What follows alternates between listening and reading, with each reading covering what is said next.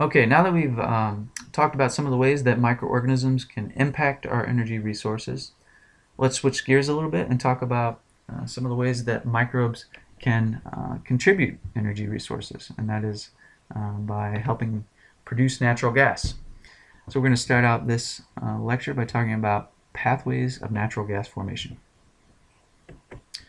Well, there are two basic pathways by which natural gas forms. It can form biogenically can also form thermogenically. Biogenic gas is formed by methanogenic archaea, and thermogenic gas is formed by cooking organic matter. Okay, and this occurs at elevated temperatures, usually above about 70 degrees Celsius. And the main products of thermogenic gas formation are uh, water, CO2, methane, ethane, and then some higher chain hydrocarbon gases and liquids. Uh, for the most part, both of these pathways start with um, deposition of organic matter in sedimentary environments. After organic matter is buried, it begins to undergo microbial degradation. In this process, large molecules are broken down. Dismantled components begin to condense and form polymers, ultimately leading to formation of kerogen. Okay, and kerogen is a mixture of organic compounds that represents a form a major form of sedimentary organic matter. These low temperature processes occur within the realm of diagenesis, where sediments begin to form sedimentary rocks and methane may form microbially. As temperature increases uh, as a result of burial, so these things are happening at relatively low temperature. If burial uh, happens and we start to increase temperature, eventually thermal degradation of organic matter starts to occur Okay, catagenesis is the physical and chemical alteration of organic matter at temperatures in the range of about 50 to 150 degrees Celsius. Okay, at these temperatures, chemical bonds break down in kerogen, producing oil and wet gas. Okay, so we're in the oil window here, and uh, wet gas is uh, is the name given to natural gas that contains higher chain hydrocarbons as well as methane. Okay, I'll talk a little bit more about what wet gas is in a few minutes. Um, in any case, if temperature continues to increase, eventually oil stops being produced. We've passed the oil window, and um, we get to metagenesis, where dry gas is the uh, primary hydro hydrocarbon product of thermal degradation, and that is natural gas that contains low concentrations of higher chain hydrocarbon gases.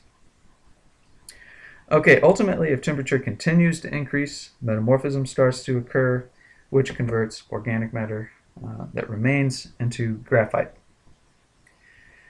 We can get a sense of um, how much organic matter was cooked in the past using vitrinite reflectance. Okay, in other words, uh, this is a measure of thermal maturity for organic matter. Vitrinite is a component of most coals and kerogens, or coal and most kerogens, I should say. Uh, it's a, referred to as a maceral, which is basically a uh, homogeneous grain of organic matter. And uh, the abundance of, of vitrinite increases as organic matter is cooked. Okay, so we can measure the abundance of vitrinite in a sample to get a sense of thermal maturity. Um, and it's shiny, and so the way that uh, we can measure its abundance is by measuring the reflectance of light off of those vitrinite macerals in a sample. Okay, so the, the values of vitrinite reflectance are expressed as a reflection value. It's referred to as percent RO. Okay, and the values listed here approximate the boundaries between these different processes. The um, uh, major substrates for biogenic methane formation uh, fall into three categories. Uh, methanogens can use hydrogen formate or certain alcohols. They can uh, use methyl-containing compounds like methanol or trimethylamine. Um, and they can also use acetate. And so let me just provide you with a, a few example reactions to, to illustrate these different substrates. So this is microbes using hydrogen as their electron donor and uh, CO2 as their electron acceptor to, to uh, produce methane. Here's a reaction with formate as the energy source. Here's a reaction with methanol, and then uh, an example with acetate. Uh, in each case, uh, the substrates are pro- probably most of the time provided by bacteria. Okay, uh, methanogens can only consume a relatively narrow range of substrates. Okay, and so they need uh, fermenting bacteria to degrade complex organic matter and generate these substrates for them. Methanogenic microorganisms um, are uh, exclusively uh, members of the domain Archaea and the phylum Euryarchaeota. There are five orders Methanobacteriales, Methanococcales, uh, Methanomicrobiales, and uh, Methanosarcinales, and then Methanopyrales. Okay. The ability to use hydrogen oxidation coupled to CO2 reduction is nearly universal among these groups. Um, however, there are only uh, two genera within the order Methanosarcinales that are capable of using acetate as their energy source. Okay, so how do we determine, uh, how can we distinguish between biogenic and thermogenic gas? Well, one thing that's useful to bear in mind when uh, evaluating the origin of, of, natural gas is the thermal maturity of the source rock. Okay? If the source rock has low thermal maturity, there's a good chance that um, any methane there would um, have a significant amount of uh, biogenic methane. Okay? There's a good chance that a significant amount of that would be biogenic. Uh, beyond beyond uh, thermal maturity, you can also get a handle on this based on the gas composition and also the isotopic composition of the gas, of the methane itself. Okay? Uh, because both of these tracers of gas origin are a little bit ambiguous, um, it's a good idea to get uh, multiple tracers involved if you, if you have the chance. Okay, so let's start out by talking uh, a little bit about gas composition and what it can tell us. Okay, the typical hydrocarbon components of natural gas are methane, ethane, propane, and butane. Okay, of these, methane is typically uh, the most abundant. Okay, it's the, the, primary component of natural gas. Uh, gas composition is often discussed in terms of gas wetness, which is calculated as shown here. The percentage of gas that is composed of methane is divided by the sum of the percentage that is composed of ethane and propane, C2 and C3. Uh, gas that has a higher abundance of these higher chain gases, hydrocarbon gases, um, uh, ethane, propane, butane, uh, is referred to as wet gas because those compounds condense out of the gas more easily than methane. Okay, so this means that uh, putting this all together, this means that wet gas, uh, low, I'm sorry, low wetness values equate to wet gas, okay, because they have a higher abundance of these things. So that means that the denominator in this equation is larger, and you end up with a smaller number overall. Okay, so let me illustrate this for you a little bit with some um, some data. Okay, and this data is uh, some data that I collected from the uh, Michigan Basin, the Antrim uh, shale is a major shale gas play there. So let's say we have two wells, well, well A and well B. And here are our hydrocarbon components, C2, C, C1, C2, and C3. Okay, well A, 83%, 83.1% methane, 4.25 C2, and then 0.08% C3. And then well B, 89.8% methane, 0.06, and 0.02. Okay, so our equation again is C1 divided by C2 plus C3. Okay, so if we carry this through, A, we have 83.1 divided by 4.25 plus uh, 0.08. And if we calculate that, we get value of 19. Okay, for well B, 89.8 divided by 0.06 uh, plus 0.02. And the value that we get there is 1,122. Okay, so uh, because this gas well, from well A has a higher abundance of um, ethane, um, it would be considered a wet gas. Okay, wet gas uh, with a low wetness value. Okay, well B is a low abundance of uh, both ethane and propane. Right, so you end up with a relatively high wetness. So this is wet. Sorry. So you end up with a relatively high wetness number, and that's actually a dry gas. So those numbers are a little bit weird in that uh, dry gas has a high wetness value, but that's uh, that's how it works. All right, let's go back to the slides. Advance, and then there we go. Okay, so how do we uh, interpret gas composition in terms of uh, what it can tell us about how that methane formed, how that natural gas formed? well, it seems that uh, microbes don't make higher chain hydrocarbon gases to a large extent. Okay, there have been a couple of studies that have shown that microbes can make ethane and they can make propane, but these don't seem to be major processes. The microbes are kind of uh, oriented towards ultimately producing methane. And so because of this, when you see low wetness values, okay, it indicates a significant portion of the gas was produced thermally. Uh, we assume that that's the only way you can get these higher chain hydrocarbons is, is thermally thermogenic degradation. And then when you see uh, high wetness values, okay, they're consistent with um, a biological origin of that gas. And let me stress the word consistent, okay, because there are some exceptions. Dry gas is not always biogenic. Okay, this is a little bit ambiguous. There are at least two instances where thermogenic gas would have a high wetness value.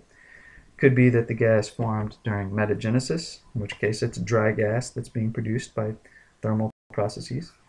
And so if this is the case, you would expect to find that the source associated with that dry gas is very thermally mature. Let's say RO values greater than about 2. And so if you didn't have that uh, mature source, then it could be that the, the gas is biogenic. Uh, on the other hand, it could also be that the gas formed uh, during catagenesis, but that the higher chain hydrocarbons were oxidized by microbes. So we talked about oxidation of oil leading to formation of heavy oil. Uh, it seems you know microbes can also oxidize the hydrocarbons, making up natural gas as well, and this could result in gas that has a higher wetness value. Okay, so there's a little bit of ambiguity there. All right, so how do we use isotopes to help us get a handle on this? Well, use of isotopes for tracers of methane origin is, is a little bigger topic than I want to go into extensive detail on here. Uh, we can talk about this more in class, but I do want to cover some of the main points. And the basic idea is that each step along a chemical pathway can have uh, a different isotopic effect. And because the methane formed in these different pathways has taken different routes, it can end up with distinctly different isotopic compositions. Okay? As such, the isotopic composition of carbon and hydrogen and methane can help us understand, to some degree, how methane formed.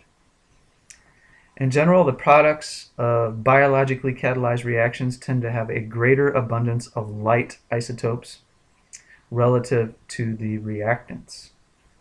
And this is because molecules containing those lighter isotopes tend to be slightly more reactive. Okay, you think of them as choice substrates, for example. Uh, as temperature increases, this difference in the reactivity between lighter and heavier isotopes becomes less important. And so ultimately the difference in the isotopic composition uh, between reactants and products would tend to grow smaller. Uh, the data that I have plotted here brings out some of these relationships. I want to switch to the writing pad to kind of walk through this in a little bit more detail. So let me do that. I'm going to clear this off. And uh, let's just kind of recreate this graph a little bit here. So here's our x-axis, okay, our, sorry, our y-axis and, our, and then our x-axis. go ahead and make a complete box. Because so over here we have hydrogen isotopes. Okay. This is the hydrogen isotopic composition of methane. Okay. And then over here we have the carbon uh, carbon isotopic composition of, of methane.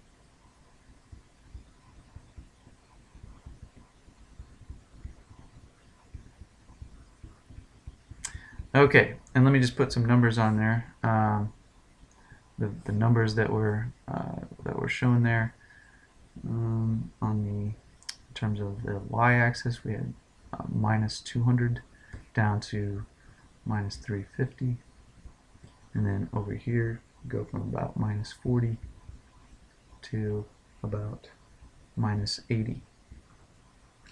Okay, and the way to kind of think about these numbers is this as you go down the y-axis, you basically uh, uh, you increase the proportion of hydrogen atoms in the methane that are isotopically light, let's say. Okay. So more light hydrogen.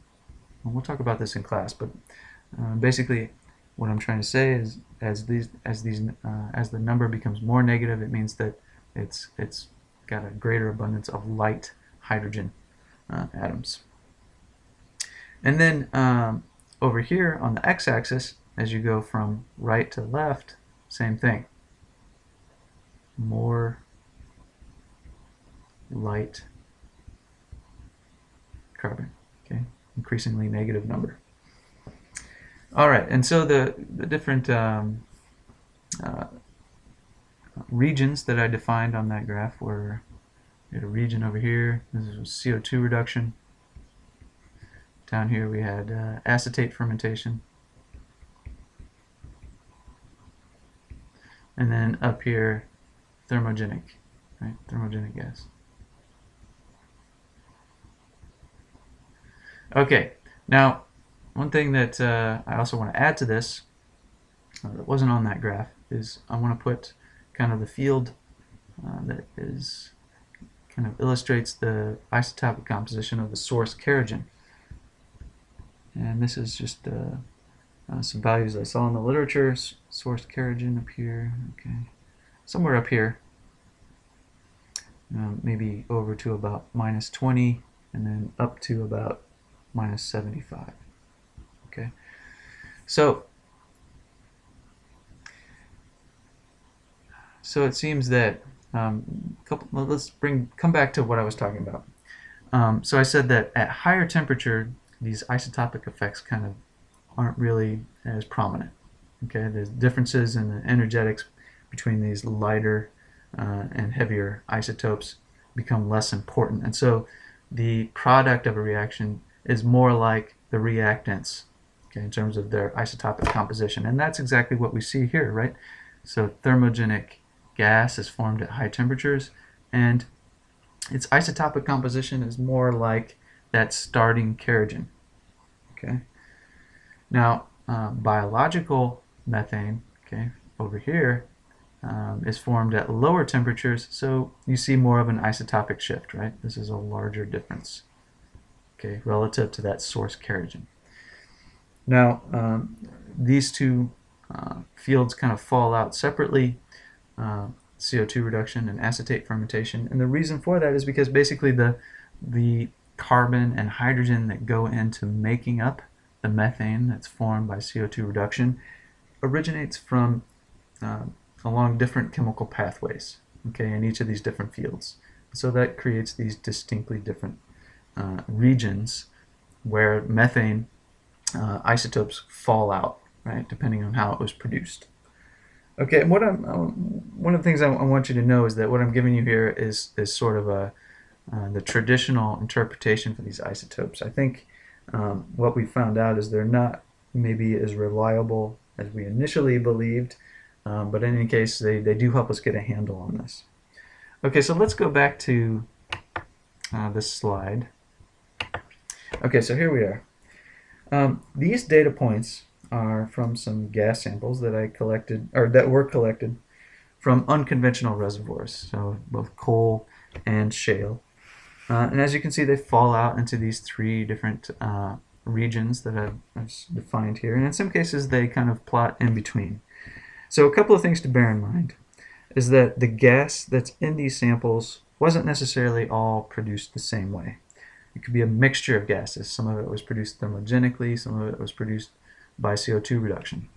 In the Michigan Basin, for example, um, if you start out along the northern edge of uh, the gas gas fields that, that tap the Antrim shale, uh, most of the gas is produced biologically. But as you go further south in the basin, you end up getting more and more thermogenic gas. And so there's a transition transition zone where you basically have some combination of both in your samples. Okay, so that's how you can end up uh, falling in between or uh, ranging in isotopic composition. Okay, and then the other important thing to note is that if oxidation occurs, if microbes use this methane as, uh, as an electron donor, if they oxidize it, that affects the isotopic composition of the residual methane that's present. Okay, So that can move things around on here as well. In any case, like I said, this is sort of the, the traditional interpretation of these relationships. And uh, um, it's not perfect, but it does help us get a handle on this. And I think that uh, there's going to be some really cool research that comes out in the next decade or so that um, helps us learn more about these isotope systematics. Oops. Okay. So with that, I'm going to um, uh, end this video. Um, in the next video, we're going to talk about controls on the rate of methanogenesis, uh, and specifically, we're going to focus on unconventional natural gas reservoirs. Okay, thank you.